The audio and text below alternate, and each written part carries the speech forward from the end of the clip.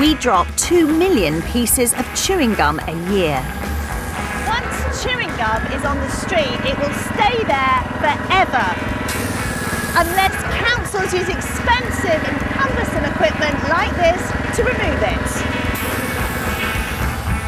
It's estimated councils spend £60 million a year cleaning up gum. But there is an ingenious solution, one that could not only rid us of this unsightly menace, but could actually turn it into something useful. Chewing gum is basically a plastic, which is why it's so hard to remove. And chemist Dr. Shengfu Yang wants to show me just how tough it is. With the help of a blowtorch. It looks like lava, isn't it? It does look like lava. This stuff is indestructible. The molecules that make gum so stubborn are called polyisobutylene. This man made compound has the strength and durability of plastic and the flexibility of rubber. It's much tougher than natural materials. These molecules are flexible and they can bend, they can stretch, but it's not easy to break them down into small pieces.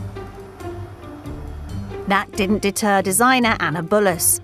While doing a research project into curbside litters, she had the idea of using indestructible chewing gum to make everyday products. I was looking at the different litters that we find on our streets, and I could pretty much find an initiative for most of the other litters, apart from gum litter, and I couldn't find anything to do with recycling gum.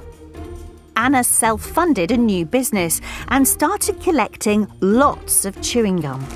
You can see all of the chewing gum in there. And then we add our secret ingredients to this. How secret is it? It's very secret, I wouldn't be able to tell you. The secret ingredient transforms dirty old gum into a material which can be moulded like other plastics. This then goes through a heated process. What we then create is what we call the compound, and this is actually what we use oh. to then oh. manufacture. This process allows Anna to make new products from recycled plastics, at least 20% of which will be chewing gum. Brett's just got the pellets. He's going to pour it into the hopper okay. there. So what happens is the pellets drop down and it's heated She's even using the material to create bins. The idea is that when people see these, they just put their chewing gum into one of these gumdrop bins and we can then recycle back into the bins themselves.